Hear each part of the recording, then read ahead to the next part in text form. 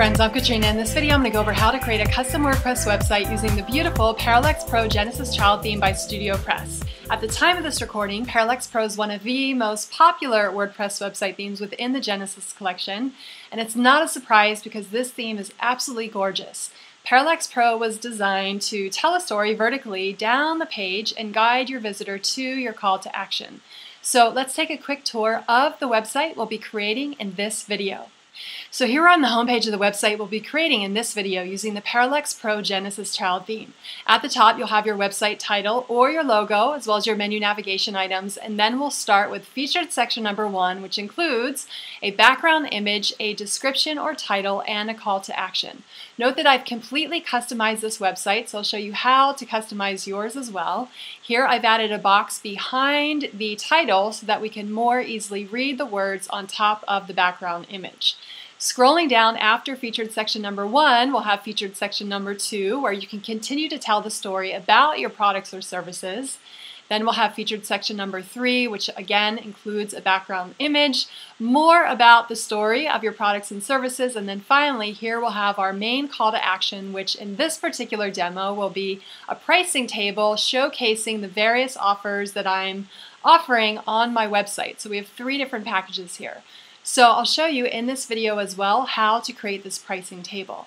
Then scrolling down, we'll have our final featured section, section number five, where you can also include either a featured image, as I've done here, or an image with words or some other call to action on top of the image.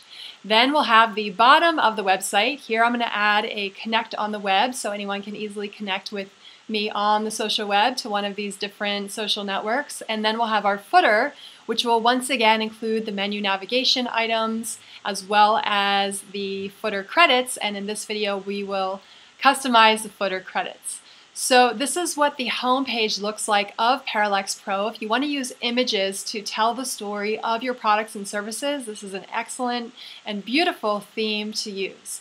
So let's take a look at some of the inside pages of this website, starting with the blog archive page. So when I click on blog, then we'll arrive on the blog archive page, and here you'll see all the various blog posts on your website being displayed one vertically after the other, just like so. Note that there's no sidebars on this particular blog archive page. I've removed them. However, if you would like to add either a right sidebar or a left sidebar, you can do so, and I'll show you in this video how to do that. Taking a look at one of the inside blog single post pages, when I click on that description right here, now we'll arrive on the single blog post, which will feature the description, the publish date, the author, and the comments section, along with the actual blog post. At the bottom of the blog post, we'll be adding an email opt-in form so you can start collecting email leads directly from within your website, and we'll also add some social sharing icons so that your content can be shared easily throughout the social web. At the bottom, you'll have your comment box right here so anyone can leave a comment about your blog post and then we'll have our footer section. So the other page that we're going to be adding to this website is a landing page. So when I click on free recipes at the top, I'm going to be creating a demo landing page that features an offer to get five recipes in exchange for signing up for my email list. So note that with a landing page, there's no website title, there's no menu navigation items, there's no left-hand or right-hand sidebars, and there's no footer. So with a landing page, the main purpose of this page is to really hone in and draw attention to your offer, whatever it is that you may be wanting to offer. In this case, once again, it's my recipes, and I've had in the post, I'll have the three reasons you should sign up reason one, two, and three. And then here is my email list, so anyone can just sign up by adding their name, and then they'll get sent my recipes. So that is what the landing page will look like in the Parallax Pro Genesis Child theme. So the other page we're going to be adding is a contact page. It's always a great idea to have a contact page that anyone can easily contact you from within your website. So I'll be showing you how to set up this contact page that anyone can just leave their name, their email, their message and the subject, and then they can simply press send and the message will be sent directly to you from within your website. We're also going to be adding a sidebar here, so I will show you how to add the content as well within the sidebar. Here I'm going to add some social network icons as well as a search box so anyone can easily search for content throughout my website.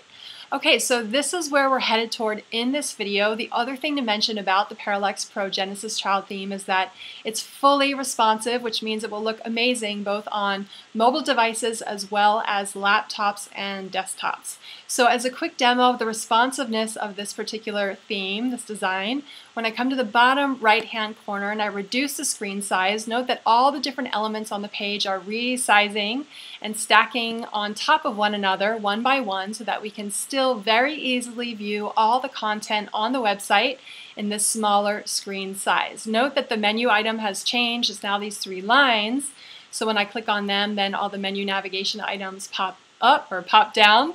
And then all the other content or elements on the page have stacked really nicely, one on top of the other, including the pricing table. Everything is really easy to see. So that's what is referred to as a responsive website. It's mobile friendly and it will look as beautiful on mobile devices like tablets and smartphones as it does on desktops and laptops. So this is where we're headed toward in this video. We're going to be completely customizing the Parallax Pro Genesis Child theme and setting it up. So let's get started. So before we get started, how much is this website going to cost? Well, we need several things. Number one, we need a domain name, and we also need web hosting. In this video, I'm going to be using HostGator.com, and at HostGator, you can get both the domain name as well as the web hosting. I'm also going to be using a special coupon code at HostGator.com to get an extra amount off my order. There's two coupons to choose from depending on which web hosting plan is preferred. So if you decide to go with HostGator.com, feel free to use these coupons as well to get an extra amount off of your order as well. If you sign up for one month hosting at HostGator.com, the best coupon to use is WP Coupon 25. And if you sign up for six months or more of web hosting at HostGator.com, the best coupon code to use is thank you. So be sure to refer to these coupons if you'd like to get an extra discount when you sign up at HostGator.com. Also, I do want to note I do receive a small referral from HostGator if you decide to use these coupons and if you go with them. So thank you in advance for your support and helping me to continue to create these free WordPress training videos.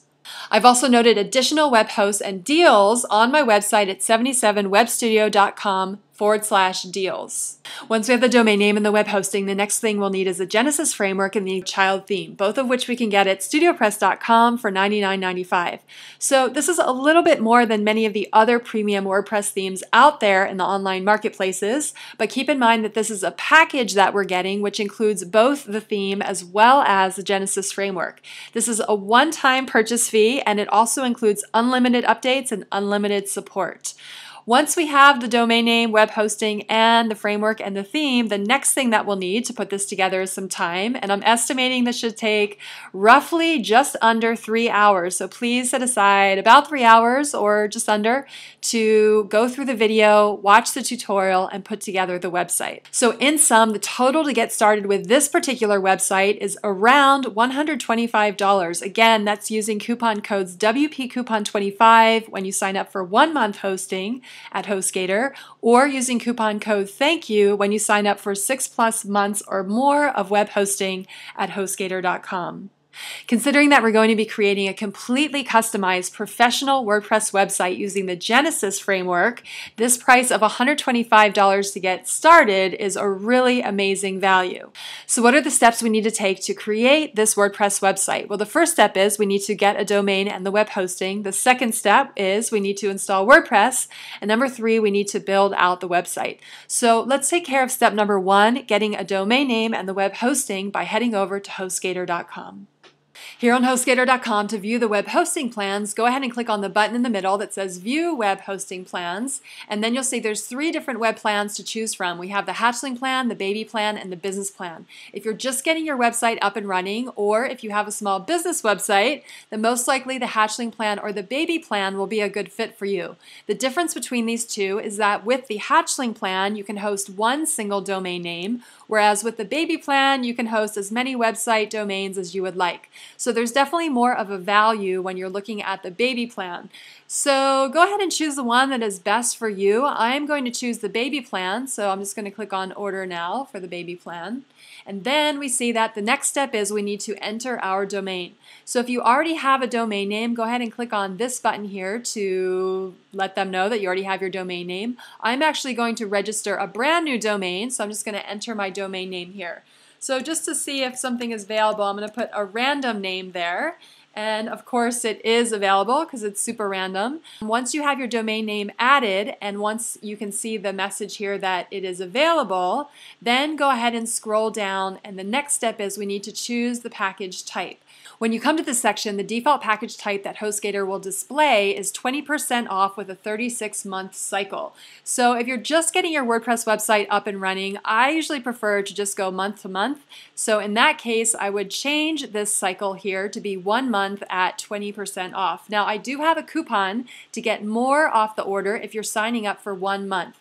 If you're signing up for six months, 12 months, 24 months, or 36 months, I have a different coupon to use that gives you you more of a discount than what the standard discount is that HostGator is providing. So to see how that works out, I'm going to start with the first coupon code, which is WP Coupon 25.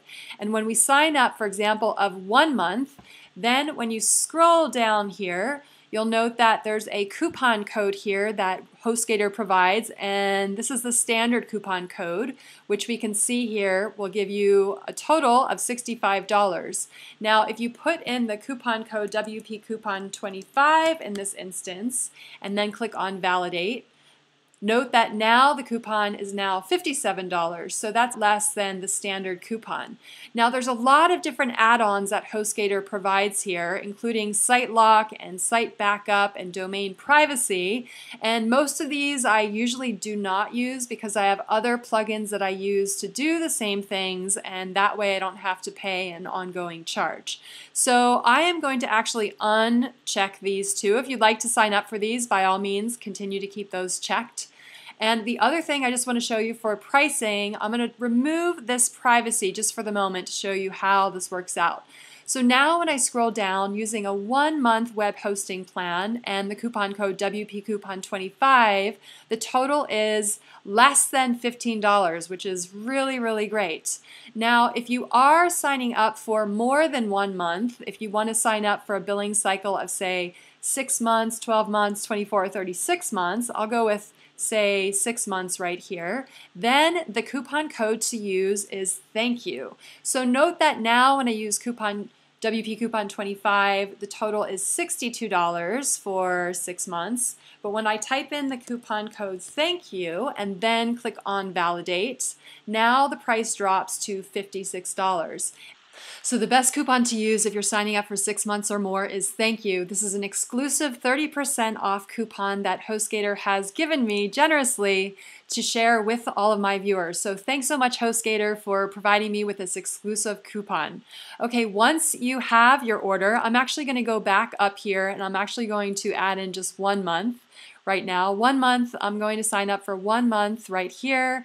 And instead of using the coupon code thank you, I'll just go back to my other coupon, WP coupon 25, and I will click on validate. And now we see that my order total is less than $15. Now keep in mind that one of the things I did turn off is privacy protection. I actually do re recommend using the privacy protection or signing up for this. And here's why. When you do not sign up for privacy protection, then by default, all of your information like your email address, your address, and your website domain, and sometimes your phone number will be included in the public online database related to domain names. So if you prefer to keep all of that kind of personal contact info private, then the privacy protection is what you'll need to sign up for. So I do think this is a really good thing to sign up for. So in this case, I'm going to sign up for this one add-on of privacy protection.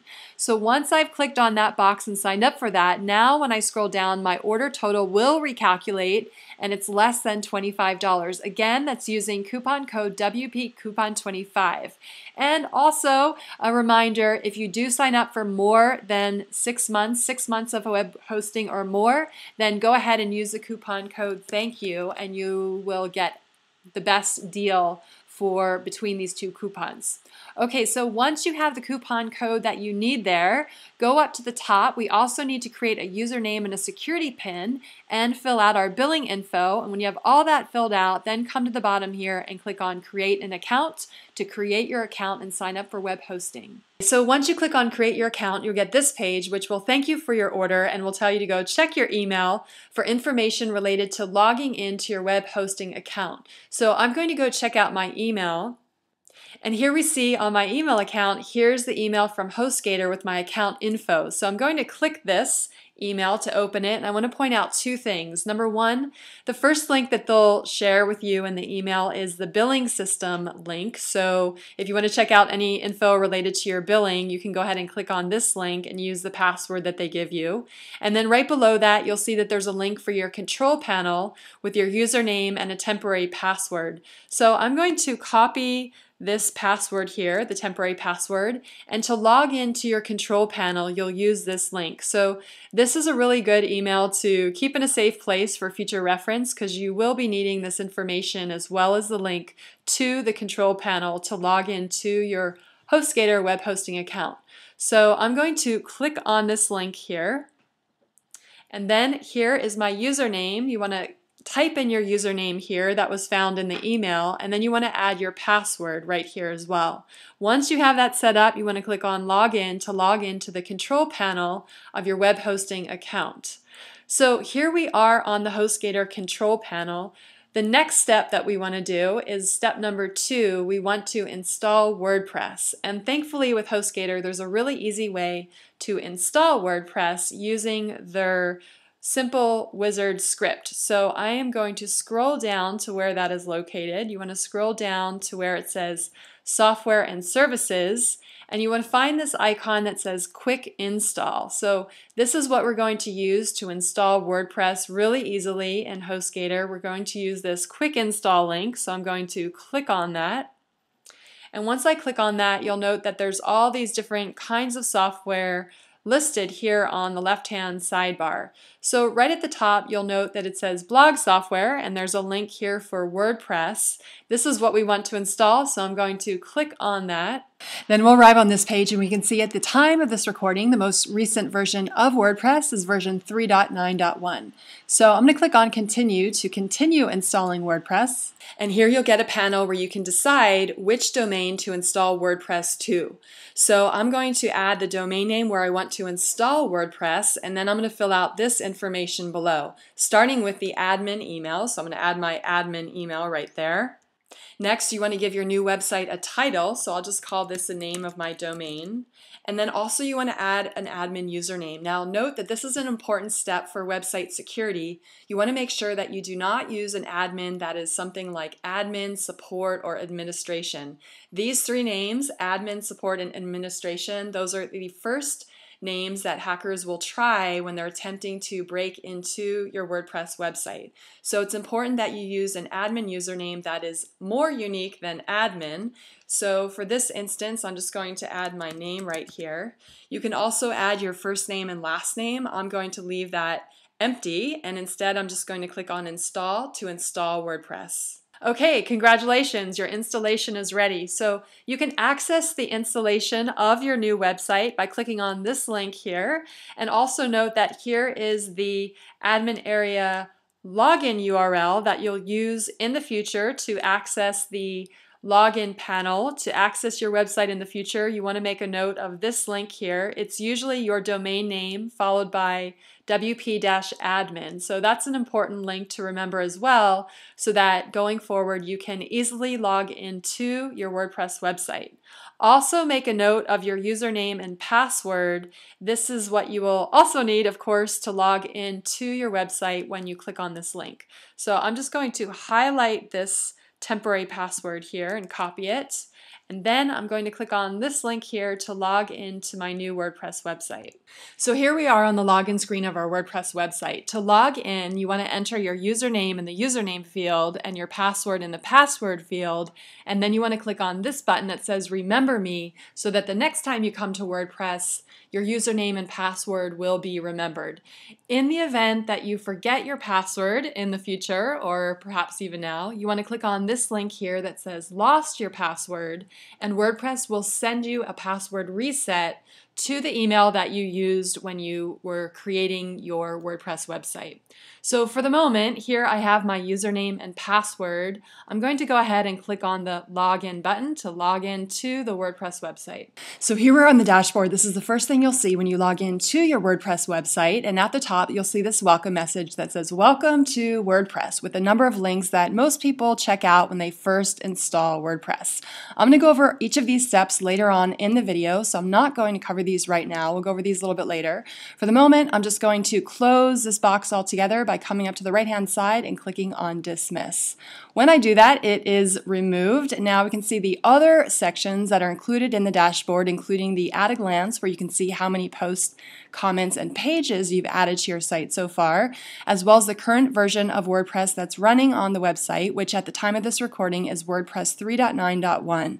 Also note that we're using the 2014 theme. This is the theme that comes with your WordPress installation right out of the box. We'll be changing that in just a moment. On the right hand side, you have your WordPress news if you want to check that out. And then if you want to create a quick draft, that's over here as well. Scrolling down, we can see any recent activity on the site right down here below. So if you'd like to rearrange any of these boxes, you can do so by simply dragging them to the left or to the right and just simply moving them around. And then if you want to remove them all together, you can go up to screen options, click on screen options, and then when you turn off these or uncheck these, you'll see that they start to disappear. So I'm to leave them all checked so that we can see all of them. Once again, here is the welcome message that we just dismissed. When I click on that once again, then it brings back this welcome message. Okay, so that is how you can configure your dashboard in WordPress. So let's take a quick look at what the website looks like right now, right when we install WordPress, once again using the 2014 theme. So to check out the website, I'm going to come up to the top left-hand side, left-hand corner, hover over the website name and click on Visit Site. Here we can see the website on the front end, and we can see we've got quite a bit of work to do. This is really bare bones right now. This is the 2014 theme that comes with WordPress 3.9.1. So where we're headed, of course, is we're going to be using the Genesis Parallax Pro child theme. It's a Genesis framework by Studio Press. And when we're done with this video, our website is going to look like this. So we can see we've got quite a bit of work to do. So this is where we're headed toward in this video. We're going to have our welcome bar at the top with an email opt-in form and all these other customizations to this website. So the first thing that we need to do is we need to install the Parallax Pro Genesis Child theme. So to do that, I'm going to go back to the dashboard and click on Dashboard. Then I'm going to go down to Appearance, hover over Appearance, and click on Themes. Here we can see the active theme at the moment, as mentioned, is the 2014 theme. There's these other themes that come with the WordPress installation. We're not going to be using these themes. Instead, I'm going to be adding a new theme, which you can do by either clicking on this button here at the top that says Add New, or you can scroll down and you can click on this plus button right here to add a new theme. So I'll just click on this plus right here to add a new theme. Here on the Add Theme screen, we can see a number of other WordPress themes that we can add to our WordPress website. These are all themes that are available within the WordPress theme directory. So you can check them out here or you can click on these links here, featured, popular, or latest to check out the latest popular or the featured themes at WordPress. Of course, we're going to be adding the Parallax Pro Genesis child theme. So to do that, I need to upload a theme. So I'm going to click on upload theme right here. Then we need to choose the file for this particular theme. So assuming that you've already bought the theme theme at StudioPress. I'm going to head on over to studiopress.com and here I'm going to log into my account. Once you're logged into your StudioPress account, then you can download the Parallax Pro child theme by clicking on Downloads. So once I click on Downloads, then I'm going to scroll down and I'm going to find the Parallax Pro theme. Here's the Parallax Pro theme right here. We have the theme set up as well as the download link. So I'm going to click on this blue button to download all the files for the Parallax Pro child theme. Once the Parallax Pro child theme has been downloaded, the next step is we need to also download the Genesis framework, the Genesis parent theme. So scrolling up one more time, you should see this as well. It'll say Genesis framework, the theme setup, as well as the download button. And as we did in the previous example, we need to download the Genesis framework as well. So I'm going to click on this blue button to download all of the files for the Genesis framework. Once the files for the Genesis framework as well as the Parallax Pro child theme have been downloaded, then we can install them into our WordPress website. So back on my website here, I just need to choose the file, but note that here at the top it says if you have a theme in .zip format, you may install it by uploading it here. So we need to convert the current files that we have into a .zip format.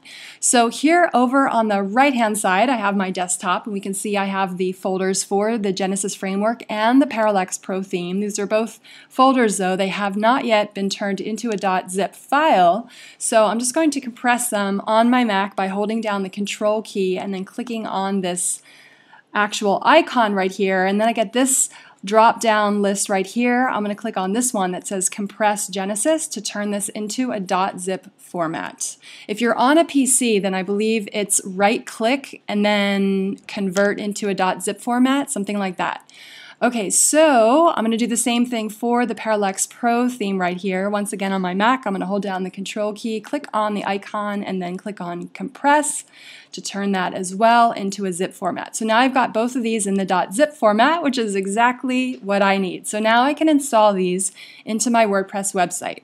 So going back to my site, I'm going to click on choose file to choose the file. And the first one I'm going to install is the Genesis zip file right here, genesis.zip. So I'm going to highlight that and click on choose. Then I'm going to click on install now to install this new theme. Okay, once the theme has been successfully installed, we can activate it by clicking on the middle link right here that says activate. So now the current theme is the Genesis theme. The next thing is we need to add the Parallax Pro child theme as well. So as we did in the previous step, I'm going to click on add new, then I'm going to click on upload theme, and then I'm going to choose the file, and this time I'm going to choose the Parallax Pro zip file right there. I'm going to click on that and click on choose. Then I'm going to click on install now. And once the Parallax Pro child theme has been installed, then I'm going to activate this one by clicking on activate. Note that this needs the Genesis framework in order to work, so you need to really have both of these side by side. And the Genesis framework, once again, needs to be installed first, and then second, you can install the Parallax Pro child theme. So once these two themes have been installed, the next step is we need to install the plugin. So going over to the left-hand side, I'm going to scroll down and click on Plugins, and here we can see the existing plugins that have been added to our website, just a few of them. So the ones that we need to add include the Genesis eNews Extended widget. This is the email opt-in form on the sidebar. So I'm going to click on Add New. I'm going to do a search for the Genesis eNews Extended plugin and click on Search. Here it is at the top. I'm going to click on Install Now. Are you sure you want to install this? Yes, okay. Once it has been installed, then we can activate it by clicking on Activate Plugin. The next plugin that I want to install is the Simple Social Icons plugin. So once again, I'm going to click on Add New. This time I'm going to do a search for the Simple Social Icons. There it is right there. Then I'm just going to click on Search once again, and here it is at the top, Simple Social Icons. You can read more about it by clicking on Details. Here we can see on the right hand side that it has been downloaded over 200,000 times. It has almost a five star rating and the last update was three weeks ago. So this is the one that we want. I'm going to click on install now to install this plugin. Then as we did in the previous step, once it has been installed, we can activate it by clicking on activate plugin. There's a couple more plugins that I want to add here. The next one is the contact form. So I'm going to click on plus add new. Then I'm going to add the contact form 7. That's the one I'm looking for, contact form 7. There's spaces in between each of those. Then I'm going to click on Search Plugins.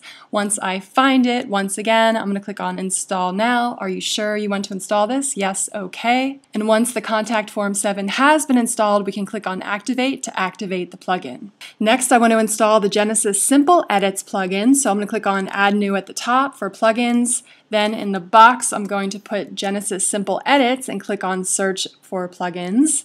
Here it is at the top as well, Genesis Simple Edits. So I'm going to click on Install Now, Yes, OK. And once it has been installed, then I'm going to activate this one by clicking on Activate Plugin. Once a plugin has been activated, we have two more plugins to add to our WordPress website. The next one is the Magic Action Box. This will give us an easy way to add an email opt-in form to the bottom of our blog post. So here at the top, I'm going to click on Add New. Then I'm going to do a search for the Magic Action Box. I'm going to add it in the search field, and then I'm going to click on Search Plugins to search for this plugin. Here at the top, we see it right here. I'm going to click on Install Now, and then OK to install this plugin. Once a plugin has been successfully installed, just as we did previously, I'm going to click on Activate Plugin to activate this plugin. And last but not least, the other plugin that I want to add to the website is an Image Optimizer plugin. This will help to reduce the size of all of our images we're adding to our website, which is always a great thing. So I'm going to click on Add New, and the one that I'm going to be using is called EWWW Image Optimizer. Ooh, Image Optimizer right there. I'm going to add that in. Then I'm going to click on Search Plugins. Here it is at the top. We can check it out by clicking on details. And here we can see it's been downloaded over 200,000 times. It was just updated six days ago and it has a five star rating based on 100 ratings, which is amazing. Now, it does say this plugin has not been tested with our current version of WordPress. It's compatible up to version 3.9.0, but WordPress just came out with 3.9.1, and I've already tested this on another demo site, so I know this is good to go. Also, we can see it was last updated six days ago. Okay, so I'm just going to click on Install Now to install this plugin. And once it has been successfully installed, then I'm going to click on Activate to activate the plugin. Okay, so once all the plugins have been activated, we'll come back to each of these plugins later on in the video when we cover each of the sections related to these plugins. For now, let's take a quick look at the home page of our website using the Genesis Parallax Pro child theme. So going up to the website name in the top left left-hand corner right here, I'm going to click on Visit Site, and here we can see the home page using the Genesis Parallax Pro child theme. So taking a quick look at our finished website over here, we can see we've got quite a bit of work to do. Here is the finished site where we're headed toward, and we can see at the top we have these menu items right here. So let's begin by adding some different pages to our website, including the blog page, some blog posts, and some other pages. And once those pages have been created, then we can add them to the menu navigation navigation area here in the top right hand toolbar. So starting with the blog posts, I'm going to go back to the website over here. I'm going to click on dashboard. Then I'm going to scroll down, hover over post, and click on add new. You can also create a new blog post by going up to the top toolbar, hovering over plus new, and clicking on post. So WordPress gives us a number of different ways to do the same exact thing. So here on posts, once again, I'm hovering over post, then I'm going to click on add new, and here we are on the add new post page. So here we can start by giving our new blog post a title. So I'm going to add in a title right there. Then we see that we have this box down below, and just like an email or some kind of word processing document, you want to add in your content here, and you can use these icons right here to format your text. Now note that there's two different tabs. There's a visual tab and a text tab. The text tab is the behind the scenes code that WordPress is generating to format your content. And the visual tab is the what you see is what you get mode where you don't need to know any code. So whenever I'm working within posts, I prefer to keep the visual tab displayed right here so I can just take advantage of all these icons. And the great thing about these icons is that you don't have to memorize exactly what they do. You can just hover on top of them them. And then you'll note that there's this tooltip here that tells you exactly what each one of these icons will do. Okay, so let's add some content into this post right here. I've actually copied some content from the demo site and I'm just going to paste it in right here. But instead of pasting the content directly into this white box, in order to remove all the formatting, I'm going to paste it directly by pasting it into the text view right here. Sometimes when you paste content from another site, either a Word document, an email, or something like that, and you paste it into your WordPress site, it will come with a lot of unwanted code. So I just want the content itself. So I'm just going to click on the text tab right here, paste in that content, and then I can go back to the visual tab by clicking on visual.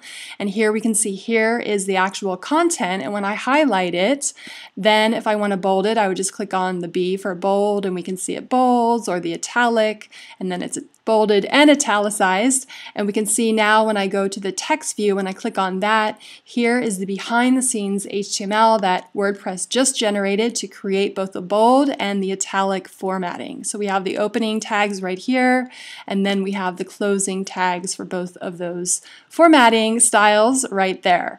So going back to the visual visual mode uh, view, I'll just leave that as it is. On the right hand side, we can see there are categories. So if you'd like to add this to a category, you can do so. I'm going to add a new category by clicking on Add New Category. I'm going to call this Blog. Then once I've added my new category there, I'm going to click on this button one more time to actually create the category. Once the categories have been set, then we can scroll down and we can see there's some tags that we can add to our post as well. So if you'd like to add some tags, you can just add them right here. And you want to make sure that if you add multiple tags, you want to separate them with a comma. So I'll just add carrot because this is a post about carrot and ginger and recipe. So I'll just add these three tags separated by a comma and then I'll click on add. Then you'll see them down below right here. Now going back to the post, I actually want to add an image within this blog post. So I'm going to place the cursor where I want the image to be displayed, which is right here before the post begins. So I'll put the cursor right there. Then to add an image to your blog post, you want to come up to the top, click on Add Media. You can either add an image directly from your media library or you can upload a file. Now, we haven't added any images yet, so there's nothing or shouldn't be anything in our media library. There we go, there's nothing there. So I'm just going to click on Upload File and then select File. Then I'm going to choose the image that I want. It's in this folder right here. And let's see, carrot ginger, there it is right there. I'm just going to highlight it and click on choose to upload this image. Once the image has been uploaded, you'll get these attachment details on the right-hand side. You can see the size and the title, caption, alternative text, and a description.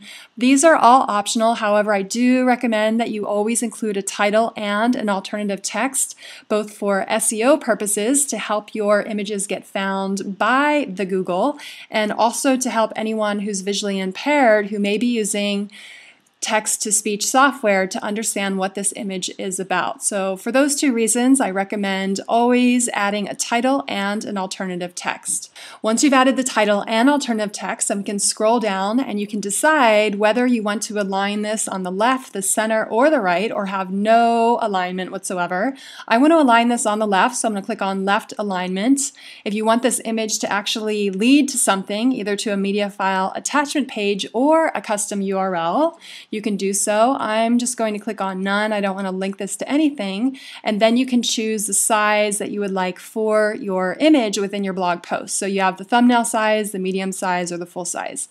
I'm going to click on full size right here, and then I'm going to click on insert into post to insert my image into the post. Now this might be a little bit too large. We'll check it out in just a moment. We may have to modify the size of this, but for the moment, I'll just leave it as it is. Then you want to scroll down and let's see what else else. If you'd like to add any theme SEO settings, which I always recommend, that's always a good thing, you can do so right here. Genesis comes built in with theme SEO settings. If you're using a plugin like the WordPress SEO by Yoast, then you wouldn't need to fill this out. So it's up to you. It depends on what kind of SEO plugin you are using. Scrolling down underneath the SEO settings, the next options that we can choose are the layout settings. So if you want to keep this as the default layout set in the theme settings, settings, you can just leave this radio button checked right here. If you want the sidebar to be either on the right or the left or have no sidebar at all, you can choose the layout settings right here. I'm going to choose this one for the moment. We'll see what that looks like with no sidebar. Then I'm going to scroll down and we need to set up our magic action box. This is the email opt-in form that will be displayed below your blog post and we'll come back to this in a moment because we haven't yet set that up. Next, I'm just going to come up to the top and I'm going to click on publish to publish this blog post. Okay, once the post has been published, we can view it by clicking on View Post, but I do notice right here down below the permalink is set as p equals 9, which is not a really helpful permalink, and it's certainly not a good permalink for SEO. So it's always a good idea to change that when you're setting up your WordPress website for SEO purposes to give a permalink that is more user-friendly and more SEO-friendly. So you can change the permalinks by clicking on this button here that says Change Permalinks, or you can do so by scrolling down, hovering over settings, and then clicking on permalinks. So I'm just going to click on change permalinks right here, which will bring us to the permalinks page. And here we can see the default is set to this p equals 123 number. So this is just going to have a URL structure with this number, which really doesn't help people know what your blog post is about. And it also doesn't really help Google or search engines know what your post is about either. So you can choose the other options down below. I prefer using the post name, just simply the post name. Sometimes people may want to use the month and name or the day and the name. The main thing is that you want to make sure that you're not using just a number. So I'm going to go with the post name right here. So just will have my URL and the post name, and then I'm going to scroll down and click on Save Changes to save my permalink settings. Now when we go back to the post by clicking on Post right here, then uh, here is my post that I created. When I click on Edit, now we can go to the permalink and we can see it actually has some words here with my keywords, which is a really important thing for SEO. So let's check this post out. I'm going to click on View Post right here, and this will bring us to the actual blog post page, and we can see this is what my post looks like. I had mentioned earlier that I wasn't sure about the size of this image, but I actually like the size, so I'm going to leave it as it is. Then scrolling down, we can see we need to add our email opt-in form and some social sharing features. We'll do that in a little bit, but otherwise it looks good. If you wanted to create a sidebar, either a right sidebar or a left sidebar, you would do that in the Edit layout settings. When you go back to the edit post, you can change your layout settings by coming down below and choosing which setting you want for your layout. I'm going to keep it with no sidebars. So that's just how I'm going to keep it right now. Now what we need to do is we need to actually create a blog archive page that we can add to our menu navigation area. So jumping over to the finish site over here, we see that here we have the all the different pages in the menu navigation area. So the next one that we need to create is the actual blog archive page, which will display all of your blog posts on the same page. This is actually, this one right here is simply the single blog post right here. Okay, so going back to our website, I'm going to actually create a page this time. You can go to the left-hand sidebar, hover over pages and click on add new, or at the top you can hover over plus new and click on page. So once again, many ways to do the same thing in WordPress. So I'm going to click on plus new page and here at the top I'm going to give this a title of blog because this will be the blog archive page. Then on the right hand side note that there are some page attributes. When you scroll down and you hover over the default template right here, you can see one of the template options within the Genesis Child theme is blog. So I'm going to click on blog right there. That's pretty much all you need to do. You can scroll down. You can choose once again the layout settings that you'd like. I will just leave them as they are. And then you just come up to the top and you click on publish to publish the blog archive page. So now we can check this out by clicking on view page right here. I'm going to click on that. And here we see the blog archive page. Right now we just have two posts. We've got this blog post that we just created and then we have the default post that came with our WordPress installation. So as you add more blog posts to your WordPress website, those will all be displayed right here on your blog archive page. So now let's go ahead and set up the contact page for the site. Going back to the dashboard, I'm going to click on dashboard. Then I'm going to create a new page by hovering over pages and clicking on add new. Here I'm just going to give this a page title of contact and then we need to add some short code right in here. So I'm just going to save this particular page as a draft right now by on the right hand side I'm going to click on save draft. We'll come back to this in just a moment. Now in order to find the code, the short code for the contact form, we need to click on plugins then we have the contact form 7 right here, and we can see here is the settings for your contact form. This is an important piece in your website, so anyone can easily contact you directly from within your website. So I'm going to click on settings, and here we see there is one contact form right here. When I click on edit, here we see the short code for this particular contact form and all the bases have been covered. Someone will have to fill in their name, their email address, a subject line, their message, and then there will be a send button. You also want to scroll down and you want to make sure that you set the email address where the contact message should be sent. This is really important because if you don't set this, then it's going to go into a black abyss and you will never receive your messages. So make sure that you do add your email address in this box right here. Okay, so once you have your email address added, then just scrolling down, everything else looks good. I'll leave all the defaults set right there. Then I'm going to click on Save to save this contact form. Next, I'm going to highlight the short code. We need this short code right here. I'm going to highlight it and copy it. Then going back to my pages by clicking on Pages, then here we see the draft, the contact form is in draft form. I'm going to click on edit to edit this draft. Then here on the right hand side, there's a text tab. I'm going to click on the text tab because we're adding code right now. And I'm just going to paste in the short code that I just copied in the previous step. Once that's all set, then we can just scroll down. Again, if you'd like to choose the layout settings, you can do so. I'm just going to leave it as it is. I think I'll put a right sidebar actually this time. I want there to be a right sidebar on the contact form so I can include some other things. And then I'm just going to scroll up to the top and click on Publish to publish my new contact form. Once the page has been published, then we can check it out by clicking on View Page. And here we have our contact form on the left-hand side, the name, email address, subject, and then the message, and then the send button right there. On the right-hand side, we have the widget area. We'll be going over this shortly, so stay tuned.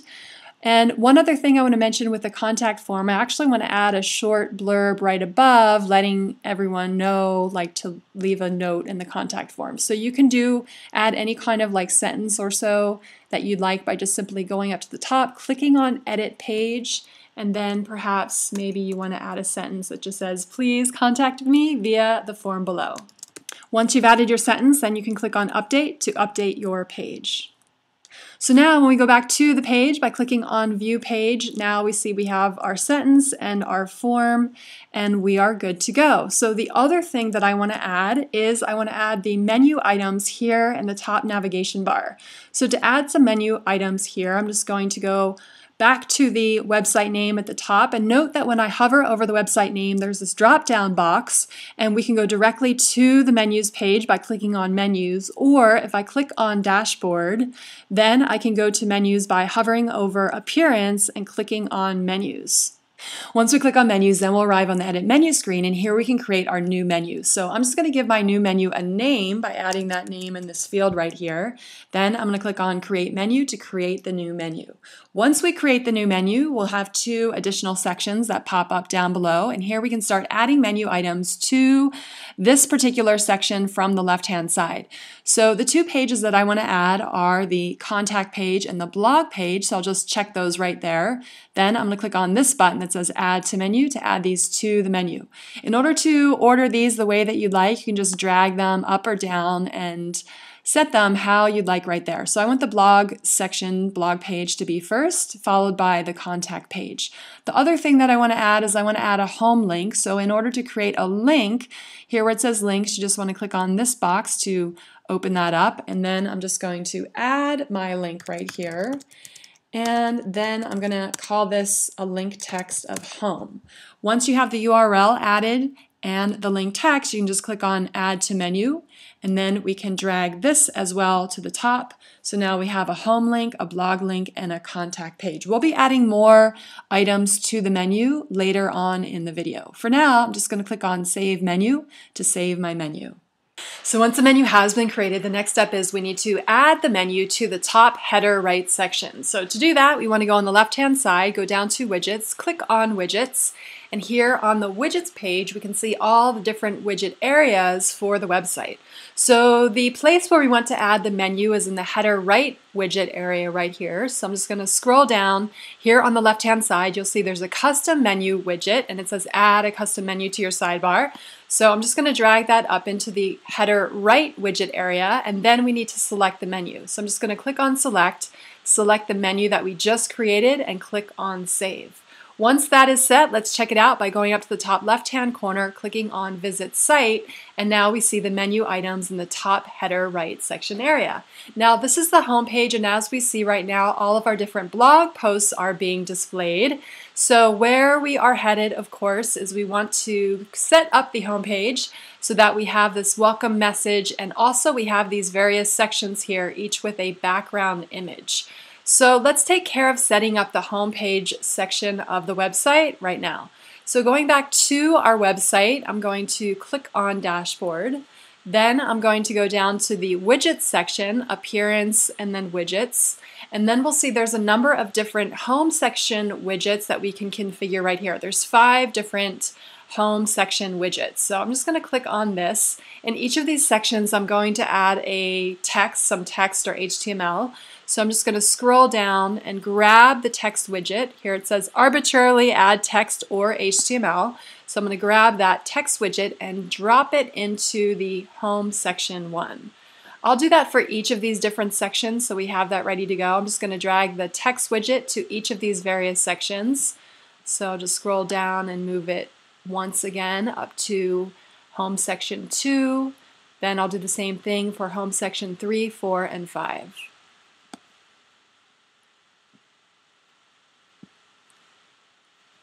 Okay, so once we've added the text widgets to each of the different home section areas, the next step is we need to fill out the content in the text widget. So starting with home section number one, I'm going to give this a title.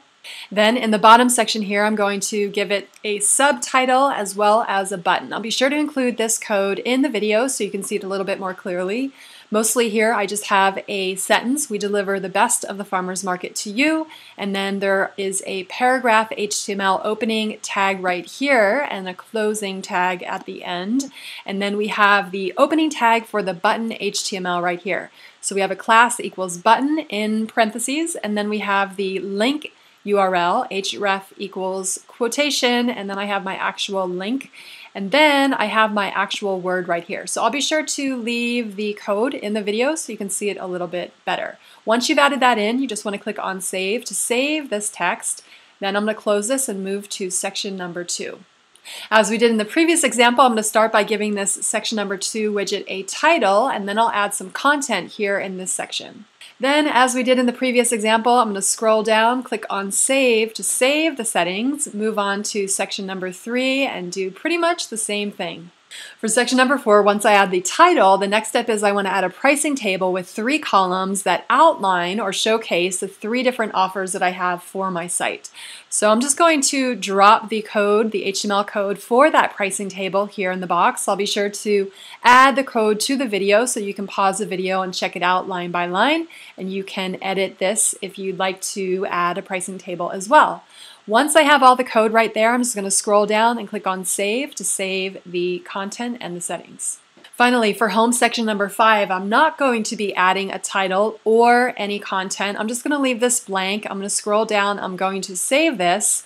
Having this blank text widget right here will at least allow the background image to be displayed. So if you have an additional third, I think image that you want to have displayed, you need to have some kind of widget in this section in order to have the image displayed. If you don't want to add the image, then you can just remove the widget section here altogether by just dragging it across and then you will not have an image being displayed. I'll show you what this looks like in just a moment but Here for my settings, for the purpose of this video, I'm just going to have a blank text placeholder right here and make sure that I click on Save to save the placeholder. Once the five widgets on the homepage section have been set, now we can check out the homepage by going up to the top left-hand corner and clicking on Visit Site. So now we see the default images that come with our Genesis Parallax Pro installation in the background, but we do see the widgets, the words at least, and the calls to action that we've added in Appearance widgets. So we can see those one by one. The next step though is we need to replace these default images with our actual images that we want to use for our website. So let's set the background images on the home page now. To do that, I'm going to go back to the dashboard by clicking on Dashboard. Then I'm going to scroll down to Appearance, hover over Appearance, click on that. And then I see the drop down box here where it says Customize. I'm going to click on Customize.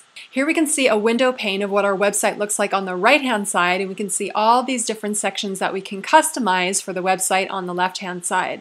So starting with the site title and the tagline, I'm going to open that up.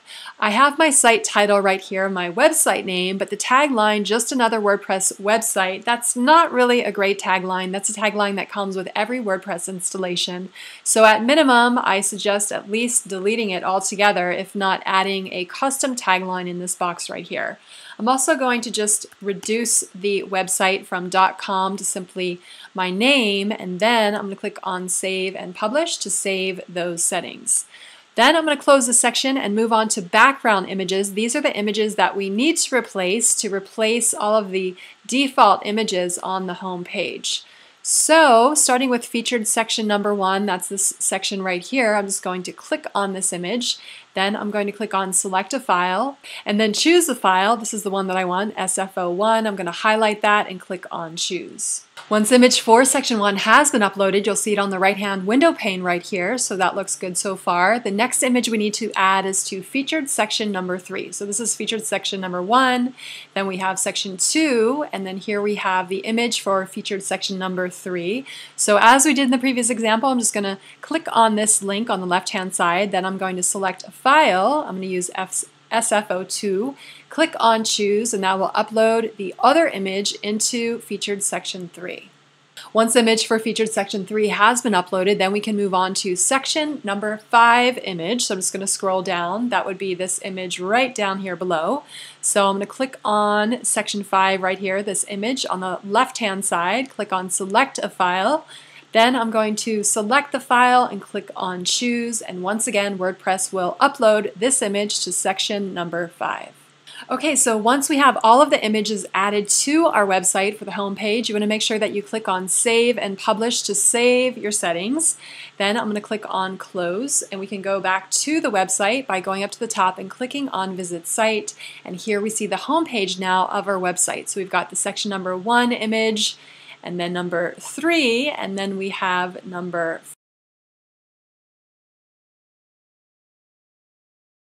website over here on the right hand side we can see we have lots of customizations but one of the things that I do want to add here is to connect on the web with these various icons and links to each of my social networks so anyone can easily connect with me on the social web. So this is the footer widget section right here.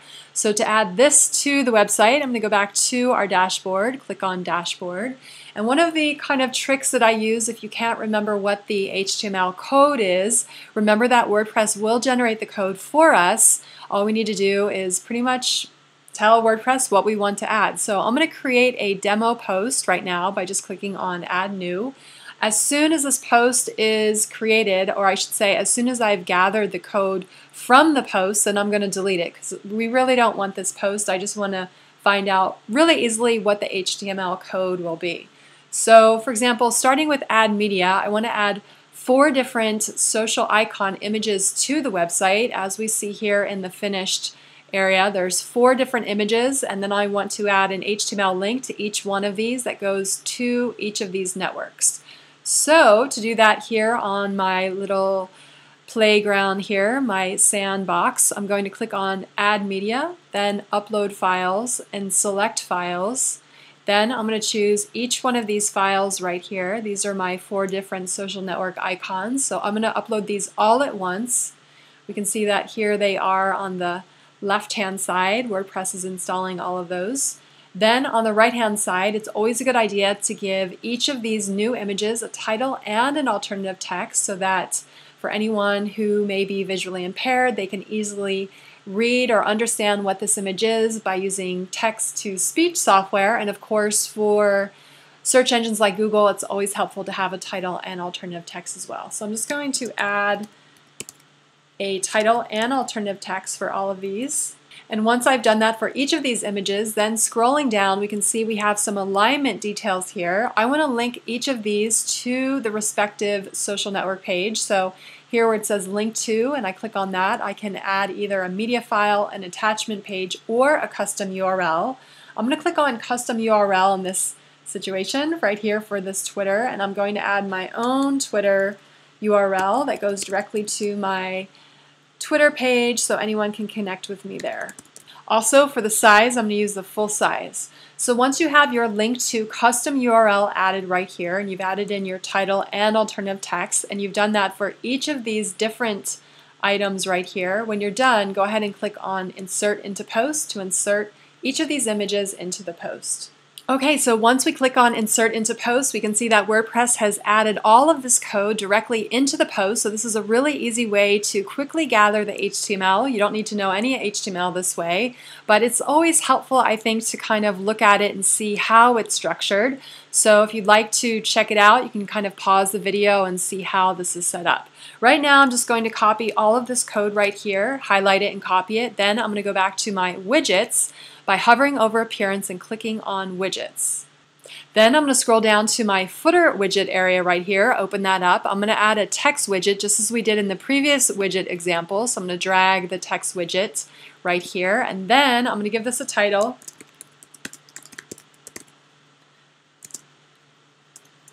Connect on the web and then here in this box I'm just going to paste the code that I just copied in the previous step. This is all the HTML code for both the images and the links to the different social networks. Then I'm going to click on Save to save these settings. Once that's saved, I'm going to go check it out by going up to the top, clicking on Visit Site. Then now when I scroll down, let's see how it looks. So it's a little bit, it's not centered, so I definitely want to center it. So let's go back to our dashboard. I'm going to click on Dashboard. And here on the dashboard, one more time, I'm going to go back to the widgets page by going to appearance and widgets, and we're going to check out the widgets in the footer section one more time. So I'm just going to scroll down, click on footer, and click on this text area. And here we see that in the image HTML, I have actually included a line left an align left class, which is causing all of those images to be aligned to the left-hand side. So I just want to delete that. I just want this to get rid of the class altogether. And I just wanted to say image source. So let's see how that works right there. So here we have image and then source, and then there's a link right there. That looks good. We also have a tag and the width. So that looks good. Mostly I just want to remove this class align left code right there. So I'll do that for all of these four items. So I'll just remove that. Okay, so then I'm just going to click on Save to save the new settings. Go back to my home page by clicking on Visit Site. Now, hopefully, when I go to the bottom, here we see all of these images are lined up in the center, which is exactly how they want them to be. Once everything in the footer section has been set up, now we can start the fun part, which is customizing our home page. Starting with, here in section, the featured section number one, we see that I have the title right here. We deliver organic local groceries right to you. And we can see that these words are a little bit difficult to read because there's actually letters in the image right in the background. So in order to make this message along with the call to action and this other sentence right here more easy to read, I want to create a box with some opacity so that we can see this title really clearly. So where we're headed right now is we're going to be customizing everything on this homepage, including colors and backgrounds and boxes and things like that. So where we're headed toward, once again, we're going to be creating this box with a little bit of opacity. We're going to make it orange. Then we're going to change the other sections to be an orange background with a white font. And then finally at the end, we'll change some of the other individual fonts right here in the pricing table and the button. So we're changing colors and we're going to create this box. So before creating any customizations to the Genesis Parallax Pro child theme, it's always a good idea to create a custom style sheet. So on my YouTube channel, I created another video called How to Safely Customize Your Genesis Child Theme. So I encourage you to check out this video right here and set up your custom style sheet. Once you've set up your custom style sheet, then you'll be ready to safely make these customizations that we're about to do right now. So I've already added a custom style sheet to my website. So I'm just going to go back to my site right here. So here on the homepage, the first section that I'm going to be customizing is this section at the top, section number one, where we have this title right here. This title is a little bit hard to read on top of the image. So we're going to be adding a box with some opacity to kind of make this title stand out and make it a lot easier to read. So what we're going for is this box right here. It has a little bit of opacity, so you can still see a little bit of the image in the background, but for the most part, it's way easier to read with this orange background than with directly the image itself. So to add that box, we're going to be using the Google Chrome Inspect Elements Developer tool. If you are using Google Chrome, a Google Chrome browser, then you can find that developer tool in the upper right hand corner. There are these three lines, and when you click on those, it will open up a drop down box where when you hover over tools, you'll get one more box, and then there's a section here called developer tools. So when you click on Developer Tools, it'll open up a window with two window panes. On the left-hand side is all the HTML code that is creating the layout for the website. And on the right-hand side, we have all the various styles, fonts, colors, font sizes, and things like that that create the style and the appearance of the website. So we're going to be changing the CSS here on the right hand side. Keep in mind that anything we adjust here on the right hand side is simply a sandbox. It actually doesn't change anything on your website unless you actually go into the files and save the new customizations within the files.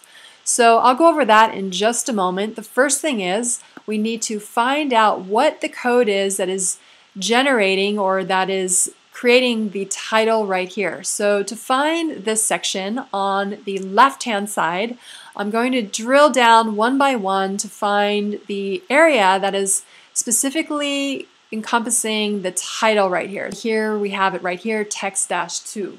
So this is the section that we need to customize, text-2. Now you may see something different. When you go through this process, you might find that it says text-5 or text-6 or text-7. So whatever the number is for your particular website, you want to make sure that you note that number instead. Mine right here, as we see, says text-2. So I'm going to keep that in mind and I'm going to make the customizations to text-2. So keeping in mind text-2, I'm just going to close this right here and go back to my dashboard by clicking on dashboard. Then I'm going to go down to appearance and editor. And here we can see various files that make up the website. These are all of the child theme files right here on the right, and we can see that I have both a style.css and a custom.css file. Now, the custom.css file is our custom style sheet that we added by following the video in the previous step called How to Safely Customize Your WordPress Website Using Genesis.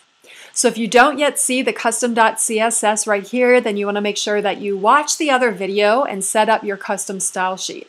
Once you have that, it should be displayed right here. I'm going to click on custom.css, and this is where we can start adding all of our customized styles that we're going to be adding to the home page. So the first one that I want to add is some customizations to the text-2 section. So to do that, I'm just going to add some code right here. Note that I have a pound or a hashtag right here, text-2. Once again, this is the number that is being used in my website, yours may have a different number. So you want to make sure that you go through the Google Chrome Inspect Elements tool to find out what your section is. Mine is pound text dash two, then I have a space, an opening bracket, and I'm adding this background code right here. Of course, I have to actually add the word background to make this work. So it'll say background and there's a colon and a space. And this time I'm using the RGB code. So in previous examples, I've been using the hexadecimal color code, which is a hashtag or a pound symbol followed by six numbers. In this particular example, because I want to be adding some opacity to this box, to this background, this time I'm going to be using the RGB code. So you can check out your RGB codes by going to the Google, doing a search for RGB code, and you can see there's all kinds of different color charts that you can click on on to find out what the three numbers are that make up the color that you want. So in this particular example, I've already done the work of finding those colors for this orange. So I'm going to be using these three numbers right here, followed by the opacity number, which in this particular example, I'm going to use 0.7. You can use 0.5 or 0.4, or 0.2 or 0.1. It really depends on how much opacity you want.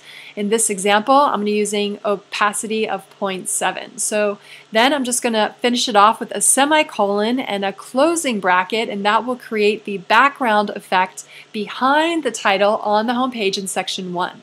So then I'm just going to scroll down and I'm going to click on Update File to update the file. Now there's one other thing actually that I do want to add to this particular box. I also want to add some padding around the words or the title and the box. So I'm going to add some padding right here as well. So for the padding, I'm going to do 20 pixels at the top, 20 pixels on the right hand side. I'm going to do 40 pixels on the bottom and 20 pixels on the left-hand side. So these particular numbers, in order to remember how, you know, what goes with what, this is really a clockwise kind of movement. This is the first one at the top, right here. This is the top, this is the right-hand side. Then just like a clock, this would be the bottom, and then this would be the left-hand side. So it's kind of going in a clockwise motion like that. Once you've added the padding, then you can just come to the bottom and click on Update File once again to update the file. Now, when we check out the home page by going up to the top and clicking on Visit Site, now we see we have this orange background and now we can really a lot more easily read the title on top of the image. So that looks really great. Now the next part that I want to change is I want to change this white color. It looks pretty like it's a big contrast going from this kind of calm yellow and orange going to a bright white. So I want to change this white to an orange color as well. So once again, we need to use the Google Chrome Inspect Elements developer tool in order to find the code that's generating this white background. We also need to find what code is creating the black color for this title right here. Because instead, we want to have an orange background with a white color for the font so we can easily read it. So this time, in order to access the Google Chrome Inspect Elements tool, instead of going up to the top right-hand corner and clicking on these three lines, this time I'm just going to leave the cursor here on the white section. On my Mac, I'm going to hold down the Control key, and then you can see there's this drop-down list, and one of the items is Inspect Elements. This is a much faster way to get to Inspect Elements than using the three lines here at the top. If you're on a PC, you can right click and then click on Inspect Elements, I believe, as well. When we do that, note that we go directly to the section that we want, so it's a lot easier.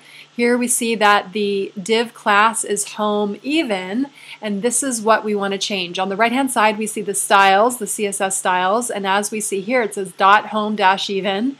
Background color is white. So if I uncheck this box, it's still white because the background has been generally set to white. We see that down here. The media all, the selection is the color of white. But what we want to do is leave this checked and here in our sandbox we can change the background color. So I'm just going to click on top of these three F's right there. I'm going to add instead the orange color that I want. And now we see we have this really nice orange color in the background. And when I scroll down, that should be affecting all of the other sections as well. So with the exception of the footer section, we'll have to do that separately. But we see that this section has been changed and also the section at hand, this section, section 2, has been changed as well. The next section I want to customize on the home page is the color of the title here in this section right here. So instead of being black on orange, I'd much prefer it to be white on orange.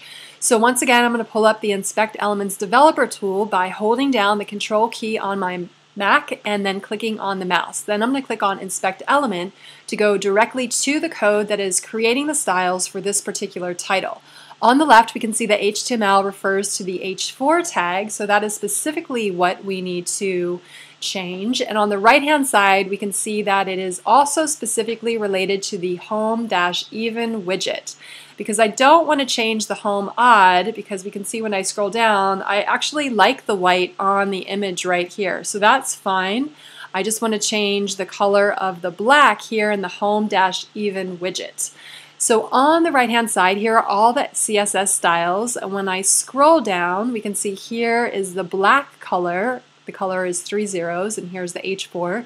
Now the only key is that I don't want to change H4 throughout the entire website. I only want to change it related to home-even. So when I scroll down, we can see the code here is dot .home-even. That is the code that we need. So I'm going to highlight that and copy it. And also note that I want to change not only the color from black to white, but I want to change the font so that it's all uppercase instead of lowercase right here. And finally, I want to change the size.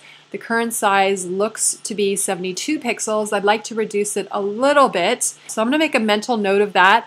I've already highlighted and copied .home-even, and that's the main code that we need. So I'm going to close this all out, and then I'm going to go back to my custom style sheet by clicking on Dashboard. For the next step is I'm going to go down to Appearance and Editor, and just as we did before, I'm going to add the styles, the custom styles, to the custom.css style sheet. So when I click on custom.css, we can see the other styles that we've recently added to the site, text-2 and .home-even. This time I'm going to paste the code that I just copied in the previous step, which also happens to be .home-even, but this time we need to add on top of this H4 because specifically we want to add custom styles for the H4 title in the home-even section widget area. So I've added .home-even space H4, then I'm going to give the opening bracket, and then now we can add our CSS styles starting with the color. So I'm going to add the color of this particular H4 title is going to be white, which is pound and then six Fs. That represents white right there. Then I also want to change the font size from the 72 to a slightly smaller size, so I'll make it 64 pixels. Also, I want to change the letters to uppercase, so I'll add text transform styles right here. This is this is the code, the CSS code to create uppercase. So just add that right there. And then finally, I want to add some spacing in between the letters. So that CSS code is called letter dash spacing. And I'm going to add one pixel of space in between the letters. And then finally, I'm going to close it all off with a closing tag. So it's a good idea just to not just copy everything that I'm writing right here, but just kind of look at it and think about how you may want to customize this or change it yourself. So we have the color of the font is going to be white. The font size is 64. Text transform, once again, is the CSS code for uppercase or some kind of transforming the text. In this particular example here, I'm transforming it into uppercase. And finally, I'm adding some letter spacing of one pixel. Okay, so let's save this and see what it looks like on our home page. I'm just going to click on Update File then I'm going to go back up to the website by clicking on Visit Site and let's check it out. So when I scroll down, that looks good. Now this is still black though, so I don't want this to be black. I want everything to be white. So I'm going to go back to the custom style sheet by clicking on Dashboard. Then I'm going to go down to Appearance and Editor. I'm going to click on Custom.css and I'm going to add a white color to the entire section. So here we see the home dash even background color is set to this orange code right here. But let's set the color of all the words to be across the board white in this entire section. So there we go. I'm just going to add the color of white, which once again are these six Fs. Then I'm going to scroll down and click on Update File. Also note, I want to change the words in the widget area. When I go up to the top and click on Visit Site, now the styles are set perfectly, but I don't want all these words right here. So really quickly, I'm just going to change and alter the words by going up to the widgets and just adjusting the title right there. So here on the widgets area, this is section number two. I'm going to open this up and instead I'm just going to put order organic foods from local farmers. Okay, then I'll just click on save And now we go back to the home page by clicking on Visit Site. Let's see if that's a little bit smaller. Okay, that's better because now it's on two lines instead of three. So that looks a little bit better. Now note that the Shop button is still black, so we need to adjust that. So once again, I'm going to open up Inspect Elements in my Google Chrome browser by hovering over this particular button, holding down my Control key on my Mac and clicking my mouse.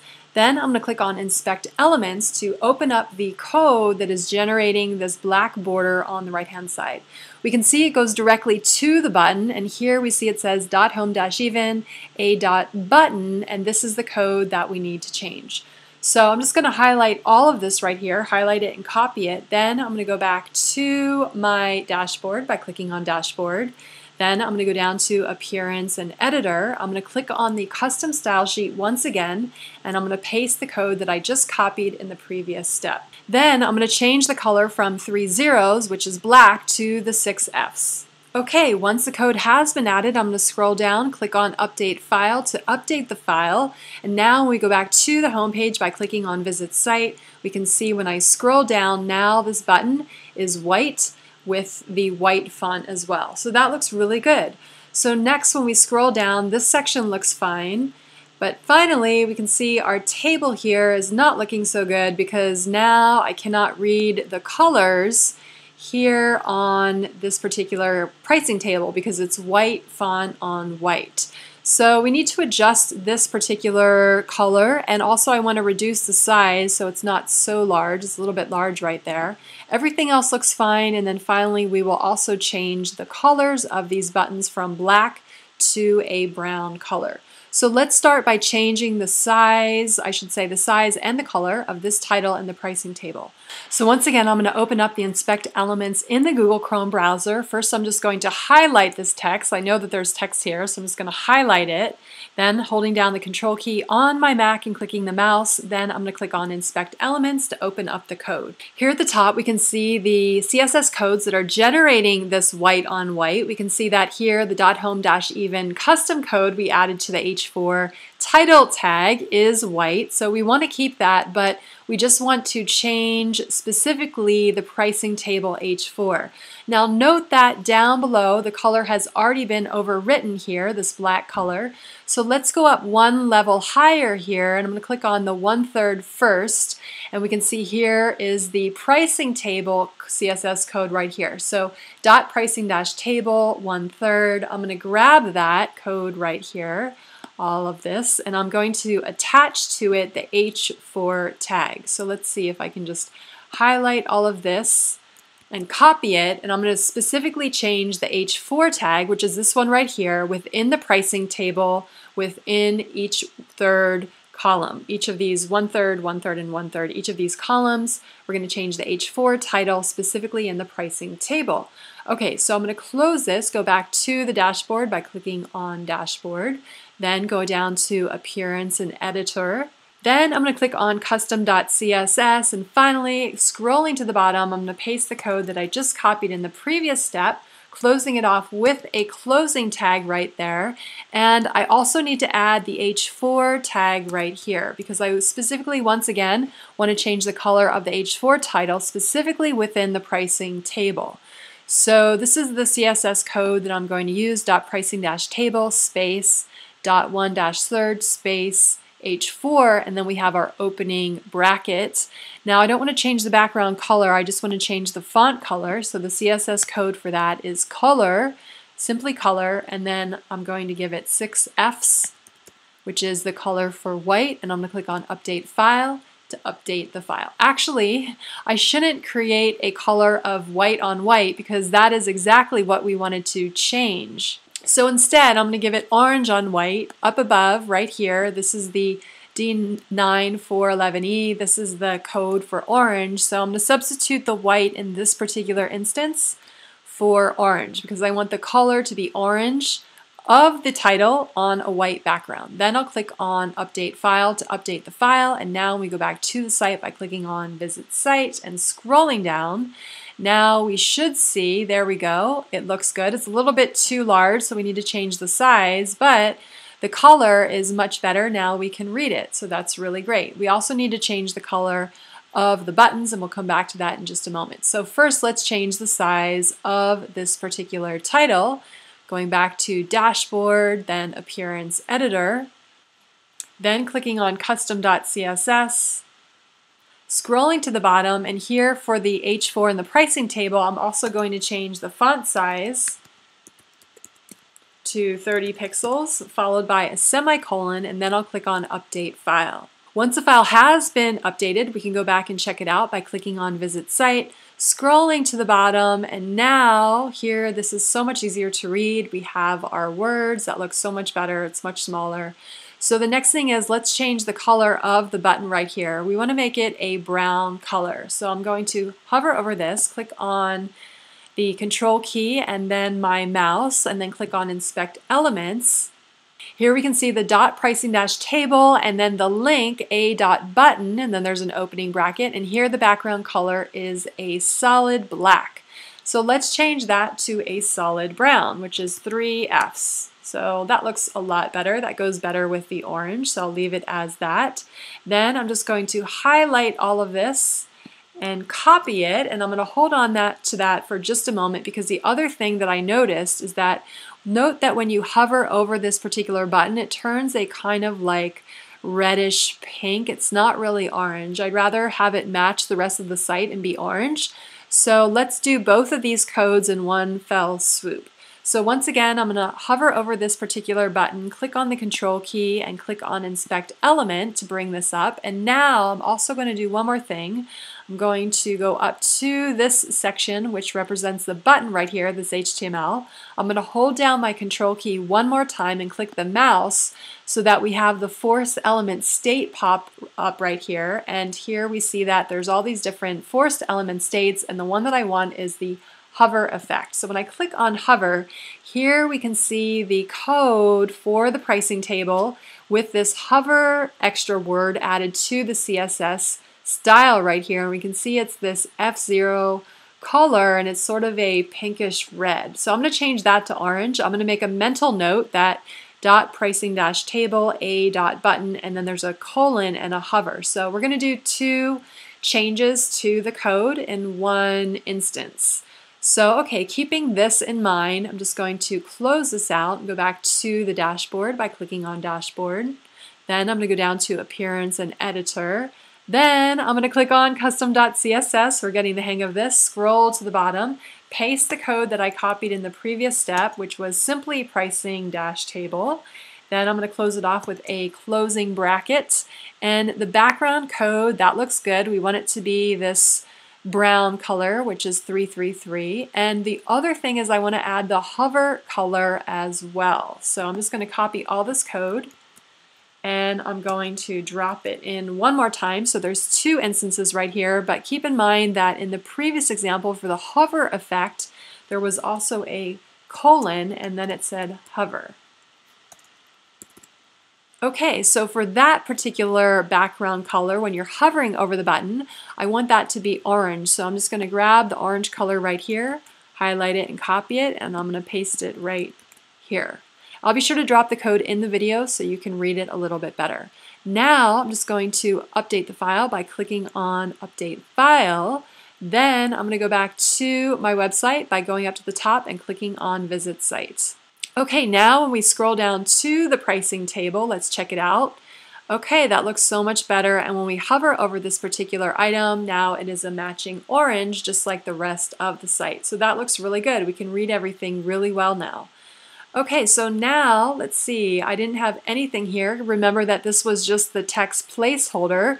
If you do not want to have an image showing up here, you would simply remove the widget from the home section 5. I have a placeholder text widget there with nothing in it. That's why this image is displaying. So I kind of like it like that, so I'm going to leave it just like that. Now the another thing that we need to do is we need to change the color of the footer. It looks like it sort of matches, but it really doesn't. This is an orange color right here, and this once again is this kind of pinkish red color. So let's change the section right here from this pinkish red to orange. Going to hold down the control key on my Mac, click on inspect element, then we can see here it is right here, the footer widgets with this background color. So I'm just going to copy all of this code, highlight it, and copy it. Then I'm going to go back to my dashboard by clicking on Dashboard. Then I'm going to go down to Appearance and Editor, and then I'm going to click on Custom.css, scroll to the bottom, and paste the code that I just copied in the previous step, finishing it off with a closing bracket. Now the background color that I want is not this F0 color, but instead I want the matching orange color. So I'm going to copy that from the code right above it. And I'm going to paste the new color right on top of it right there and click on Update File to update the file. Now we go back to the home site by clicking on Visit Site. And now when I scroll to the bottom, now the footer section color matches the rest of the other sections right here. So the other thing that I want to do, here we see that this top bar is black, as is the bottom bar. At the bottom, this is black too. And I really want to keep it consistent with the orange, the yellow, the white, and the brown. So I'm going to make this background color right here brown. So I'm going to click down, hold on the control key, click on my mouse, click on inspect elements, then I'm going to scroll down here. I'm going to find the title area. Actually, it's not really the title area. It's the site header section. Here we can see .site dash header has a background color of black, which are these three zeros. I'm going to highlight all of this, highlight it and copy it. Then I'm going to go back to my dashboard by clicking on dashboard. Then I'm going to scroll down to appearance and editor, click on custom.css, scroll to the bottom and paste the code I just copied in the previous step, finishing it with a closing bracket and also changing this background from three zeros to three threes. This way it will match the button color up above, which is also brown. Then I'm going to click on Update File to update the file. Now going back to the site by clicking on Visit Site, now we can see this is brown. It looks so much better. It really matches the complements the orange and the yellow a lot more. Note that the color of this particular item right here is not the orange color that we want, so we want to make sure this is consistent.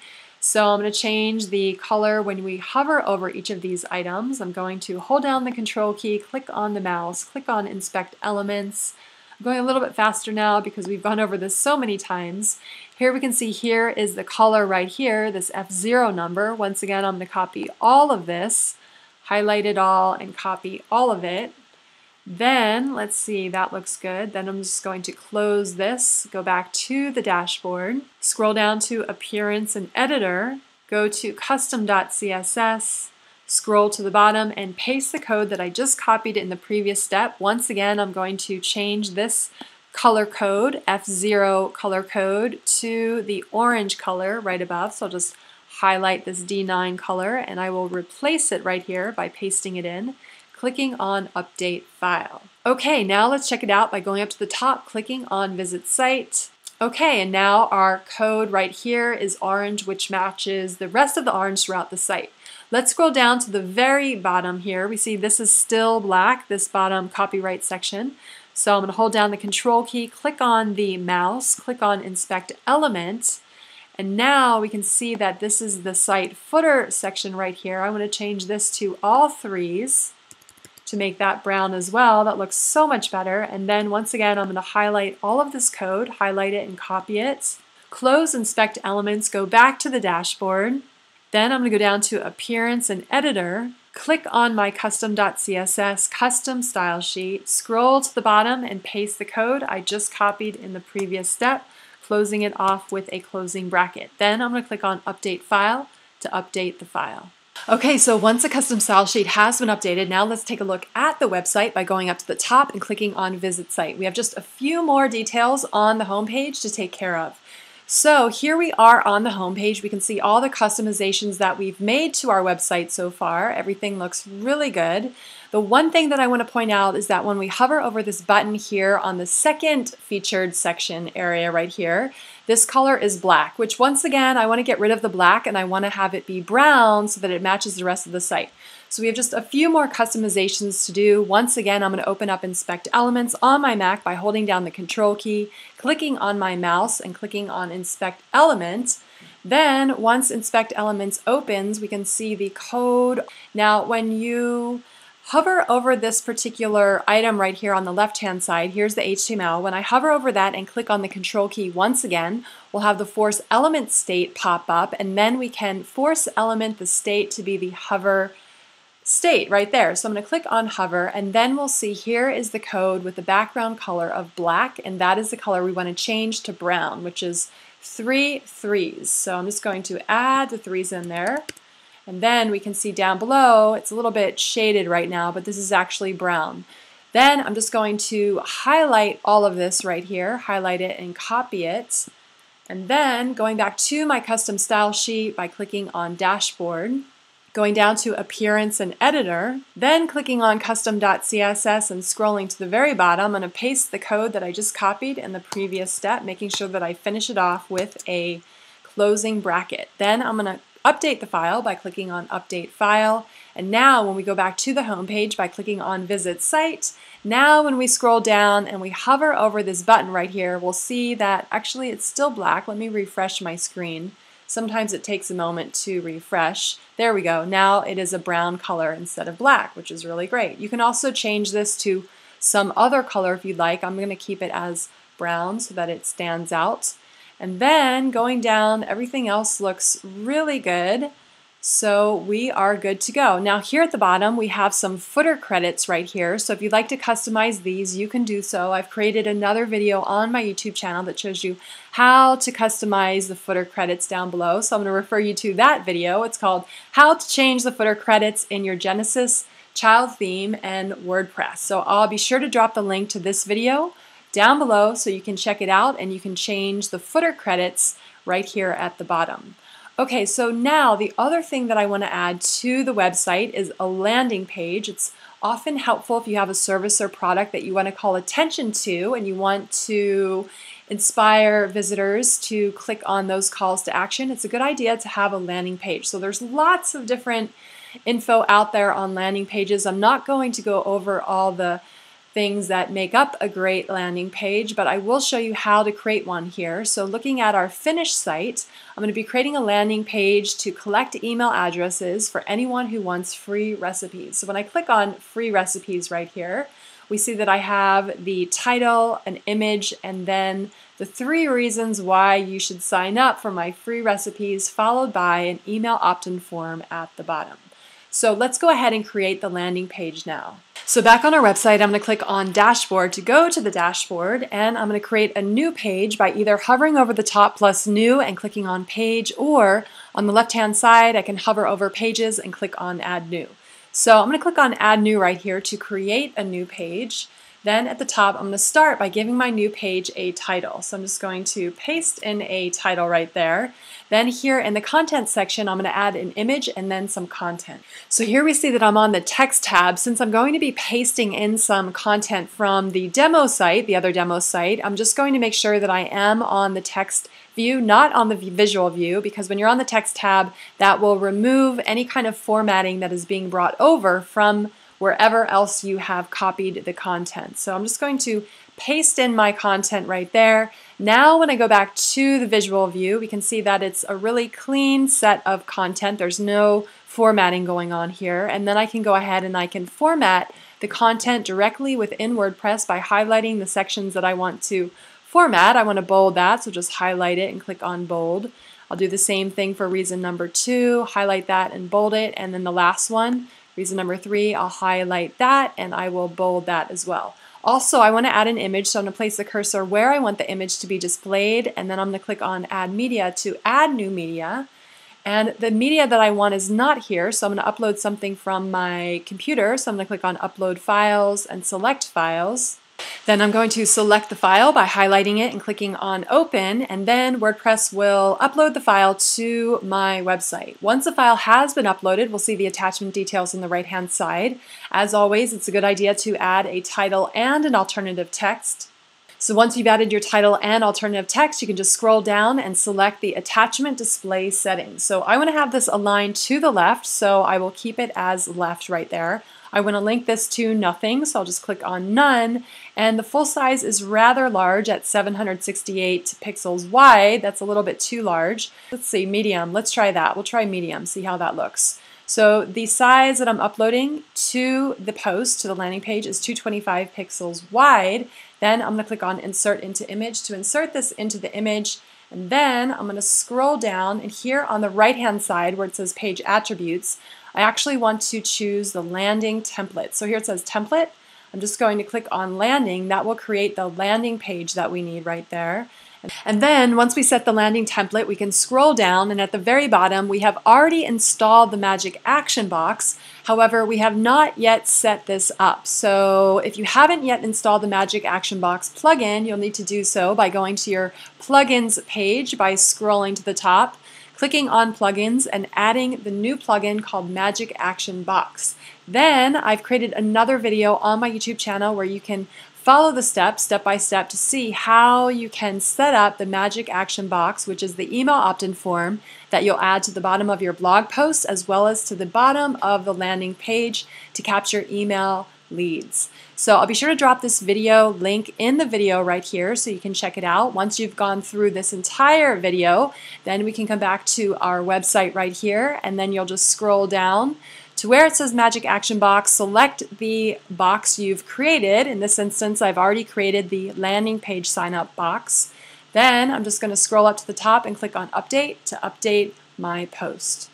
Once a post has been published and updated, you can check it out by clicking on Visit Site, and here we'll see our landing page. So we've got our title, our image, and our content, the three different reasons you should sign up. And then at the bottom, we have our email opt-in form here, where anyone can sign up for your email list to receive these recipes.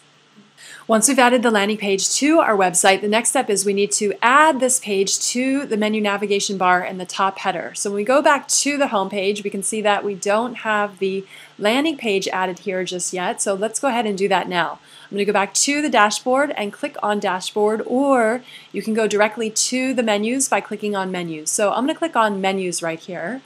Then I'm going to add the landing page to the menu. So here it is right here, get this week's top five seasonal recipes. It's rather a very long title, so I'm going to adjust that in just a moment, but I'm going to click on this. Then I'm going to click on add to menu to add this to the menu. Then I'm going to open it up by clicking on this arrow right here, and instead of this long navigation label, I'm just going to call it free recipes. Once that's set, then I can save the menu by clicking on Save Menu. And if I want to reorganize where it is situated in the navigation area, I can just move it up or around or wherever I want it to be displayed. So I'll just add it actually right after the home button right there, the home link. I'll have the free recipes, the blog, and the contact page, and then I'll click on Save Menu once again to set the menu. Now when I go back to the home page by clicking on Visit Site, now we can see my landing page right here in the navigation area. So we're coming to the tail end of creating this website. The last thing that we need to do is we need to create the widget sections on the sidebar of our website. So for example, when I click on this button right here, at the moment for this website, I have the shop call to action going directly to the contact page. But in the next video, I'm going to go over how to set up this website with WooCommerce. So we'll be using that shop button in a different way in the next video, so stay tuned. But for the moment, that shop call to action is going directly to the contact page. Here on the right-hand side, we see the primary sidebar widget area, and this is the section that we need to set up right now. So going back to the widget section by hovering over the website name, we can go directly to the widgets page by clicking on widgets. We can also arrive there by going to the dashboard, hovering over appearance and clicking on widgets. Here on the right hand side we see the primary sidebar so I just want to open that up and we need to add the simple social icons widget to this section as well as the search box. So scrolling down, we've already installed the Simple Social Icons widget. You'll see it right here on the left-hand side. If you have not yet installed it, then you want to go to plugins and add a new plugin and you want to add the Simple Social Icons plugin. This obviously is already installed, so I'm just going to drag it to the primary sidebar at the top over here, drop it in there. Then I'm going to give it a title, Connect on the Web, and then we can add the different website URLs that we want to include for social network icons. Once you've added all the different URLs that you'd like to have displayed as social icons on this particular widget area, when we scroll up, we can also customize the color of the buttons. So I'm going to make these orange buttons so that they match the rest of the site.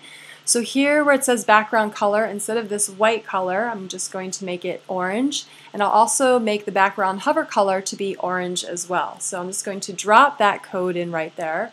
Then at the bottom, I'm going to click on Save to save my settings. Once the settings have been saved, we can close this by just coming up to the top here and clicking on this box to collapse it. And then finally, I want to add a search box so it's easy for anyone on the website to search for content throughout the site.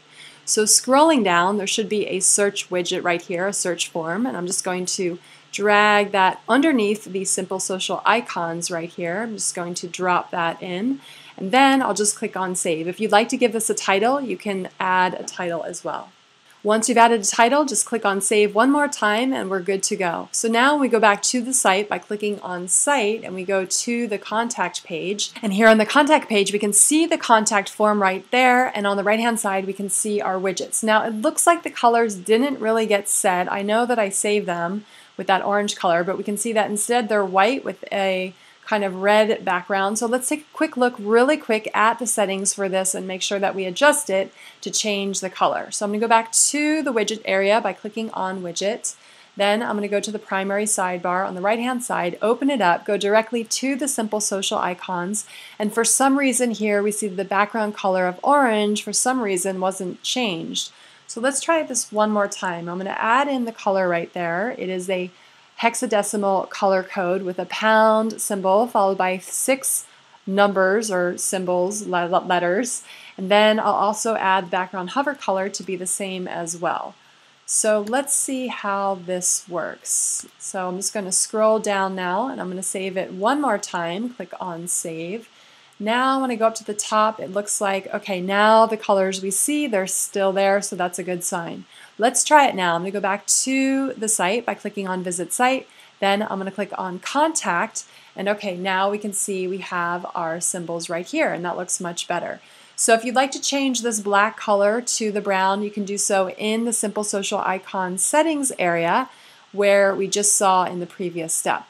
This looks good to me so far. I'm just going to keep it as it is. We have our social network icons right here, our search box, and our contact form. So we are good to go. Now let's go back to the home page by clicking on the home page. And here we have our completed website using the Genesis Child theme called Parallax Pro. This is a responsive, mobile-friendly website and it's been fully customized throughout this video. So I hope this video was helpful to all of you. If it was, please feel free to leave a comment below, like the video, and share this video with your friends. I will be coming out with more videos related to WordPress, Genesis, and how to build your business on the web. So please subscribe to my YouTube channel. Last but not least, all the conversation continues on my website at 77webstudio.com, so feel free to head on over to my website to continue the conversation. Until next time, I hope you have a great week and continue learning new skills that help you to build your business on the web.